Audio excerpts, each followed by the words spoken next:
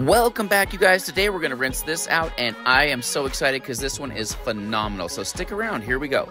We're going to remove the tie that holds the background together first. In this case, I used artificial sinew because I wanted the lines to be a little bit thicker the next one to come off is the tie that's on the sleeves, and I wanted to make this kind of mandala-esque, but not a super perfect one, so we'll see how that turned out. The next tie is the biggest tie on the shirt, and with any luck, it'll be a super beautiful direction change honeycomb. Now we're gonna undo the accent mandala that's on the top of the back of the shirt. This one's not as intricate, but it still should be really beautiful. Now it's time for the mandala on the front of the shirt. This is done in a 12 color rainbow with black. Really quick, thank you so much to all the new subscribers. We couldn't do this without you, and we're so thankful. You know we gotta make tie-dye soup.